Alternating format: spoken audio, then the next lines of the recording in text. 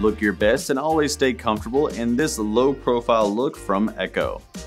This silhouette has a clean leather upper with an oiled finish. There's a square toe across the front for a wider fit, with a waxed lace up to keep it fitting right. The inside lining is textile and leather keep it cool and breathable, with extra cushioning around the collar for support.